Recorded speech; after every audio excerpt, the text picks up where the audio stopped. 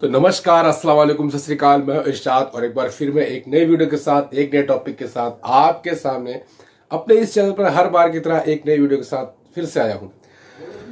दोस्तों, अगर आप के पास भी कुछ इस तरीके का बीएसएनएल का ब्रॉडबैंड का एडीएसएल राउटर पड़ा हुआ है, होता है क्या है दोस्तों कि हमारे पास, हालाँकि आजकल तो फाइबर कनेक्शन आ गए लोग फाइबर यूज़ कर रहे हैं।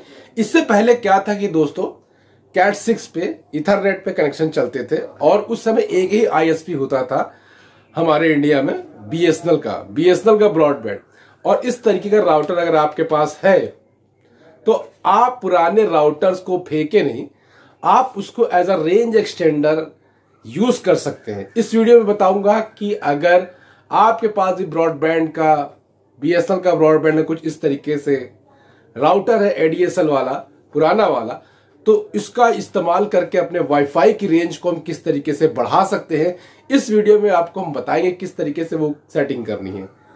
दोस्तों, अगर चैनल पर नए हैं तो चैनल को सब्सक्राइब कर दीजिएगा। वीडियो को लाइक करिएगा और शेयर करिएगा ताकि जिनको नहीं पता इसके बारे में कि किस तरीके से पुराने ब्रॉडबैंड का एडिशनल राउटर को किस तरीके से एज अ रेंज एक्सटेंडर हम इस्तेमाल कर सकते हैं। तो बंदे नहीं मेरे चैनल पर देखते रहे टेक्निकल इरशाद अहमद, क्योंकि मैं डेली एक नई वीडियो इस तरीके लेकर के आता रहता हूँ।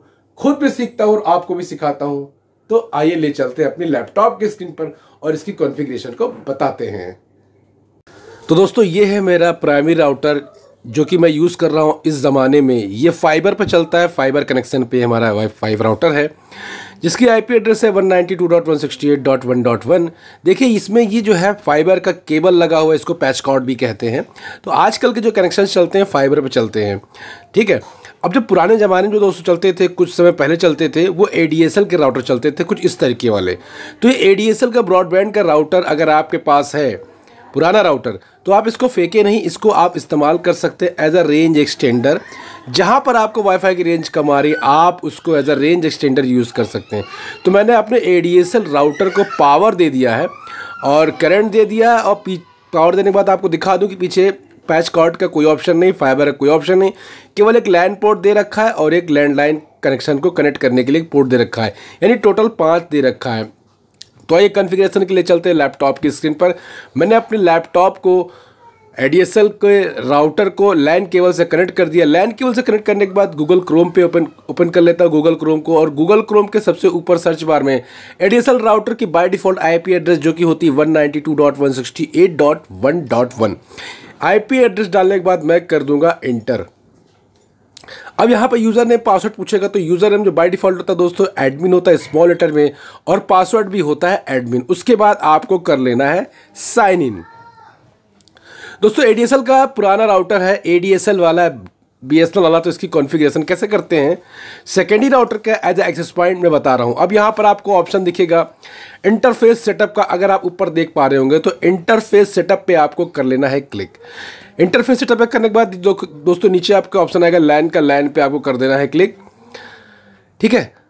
तो लैन पे आपको क्लिक करना है। अब यहाँ पर पहला काम ये करना है कि इसकी लैन आईपी चेंज करना है, जो कि मेन आईपी आप देख रहे हैं सबसे ऊपर। इसकी पहले आईपी है 192.168.1.1 मैं इसकी आईपी करता हूँ 192.168.1.2 ठीक है? ये मैंने आईपी एड्रेस इसकी यहाँ पे, जो मेन आईपी एड्रेस है, मैंने इसकी चेंज कर दी है। अब उसके बाद ये एक काम हो गया, दूसरा काम मुझे करना है, इसका डी जो है वो डिसेबल कर देना है। ये बाय डिफ़ॉल्ट तो इनेबल होता है। जब हम इसको एक्सटेंडर या एक्सेस पॉइंट बनाते हैं तो हम इसको यहाँ पर हम क्या कर देंगे? डी इसका हम कर देंगे डिसेबल अब ये पूरी तरीके से एक्सेस पॉइंट बन चुका है। उसके बाद नीचे ऑप्शन है सेव का। आपको सेव पे करना है ये दो काम करने के बाद।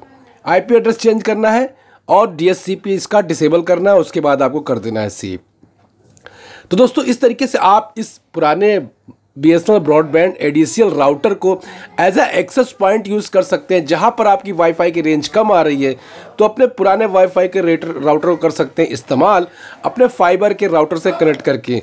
बस आपको दो काम करना है लाइन आईपी चेंज करना है और डीएससीपी जो है उसका डिसेबल कर देना है। इतना ही करना होता है आपके पुराने एडिशल के राउटर में। दोस्तों, वीडियो अच्छी लगी हो तो चैनल को सब्सक्राइब करना मत भूलिएगा और एकदम इतना आसान भाषा में आपको यूट्यूब पे कोई नहीं बताएगा।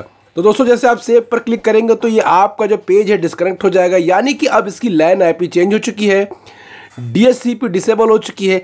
अब अगला स्टेप में हमें क्या करना है? अगला स्टेप ये करना है कि जो भी हमारे प्राइमरी राउटर से फाइबर वाले राउटर से एक लैन केबल मैंने लगाई थी, उस लैन केबल को अब क्या करना है? अपने एडीएसएल राउटर के लैन पोर्ट में लगा देना है। एक केबल आप देख रहे हैं पहले से, जो कि लैपटॉप में कनेक्ट है कॉन्फ़िगरेशन करने के लिए। अब मैं प्राइमरी राउटर से यानी कि जो मेरा साइरोटेक का राउटर है फाइबर पर जो चल रहा है, उसमें एक लैंड केबल मैंने लगाई थी। अब उसी लैंड केबल को ले जा करके मैं अपने एडीएसएल के राउटर के लैंड पोर्ट पर लगा दूँगा। अब जैसे दोस्तों लगाऊँगा तो अब मेरा वर्किंग करने के लिए तैयार है मेरा ये router as a access point हम यूज़ कर सकते हैं। जहाँ मुझे वाईफाई की रेंज कम आ रही है, वहाँ लगा देंगे। तो फ़िलहाल मैं कहीं इसको लगा दीजिए, मैं अपने कंप्यूटर पे केवल एक सिस्टम को चलाने के लिए यूज़ करूँगा। क्योंकि मेरा सिस्टम सेकेंड फ्लोर पे है और प्राइमरी राउटर लगा है फ़र्स्ट फ्लोर पे। तो देखिए प्रॉपर वर्क कर रहा है।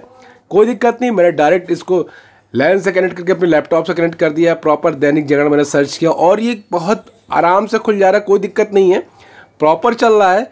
तो इस तरीके से दोस्तों, आज हमारी वीडियो में आपने जाना कि पुराने एडीएसएल राउटर को किस तरीके से वाईफाई रेंज एक्सटेंडर बनाया जा सकता है। केवल दो सेटिंग करके। आप स्पीड टेस्ट भी चेक कर सकते हैं। देखिए, जैसे कि मैं स्पीड टेस्ट कर रहा हूँ। क्योंकि ये सिंगल बैंड राउटर है तो आपको 50 से ज़्यादा स्पीड आपको इस राउटर पे नहीं मिलेगी एडीएसएल राउटर पे। ब्रॉडबैंड का बीएसएनएल का एडीएसएल का राउटर था। मैंने उसको एज ए एक्सेस पॉइंट बना दिया है। सैंतालीस एम हमको स्पीड मिल रही है। तो दोस्तों, अगर कॉन्फ़िगरेशन हो जाएगी, आपका इंटरनेट चलने लगेगा। तो अब राउटर पे आप देखेंगे कि इस तरीके से डब्ल्यू वाली लाइट आपकी कांस्टेंट जलने लगेगी। और लैंड जलने लगेगी और आपका डीएसएल वाला लाइट ब्लिंक करेगा पावर जलेगा। तो दोस्तों, आप अगर इसके पीछे पलटेंगे, एक केबल मैंने लगाई है आपकी, अपने फाइबर वाली, और दूसरी केबल लगाई है मैंने अपनी लैंड लैपटॉप से जो कनेक्ट है। तो दोस्तों, वीडियो अच्छी लगी तो चैनल सब्सक्राइब कर लीजिएगा। इस तरह की वीडियो देखने के लिए हमारे चैनल को सब्सक्राइब करना ना भूलें। मिलते दोस्तों अगली वीडियो में। वीडियो देखने के लिए धन्यवाद। जय हिंद।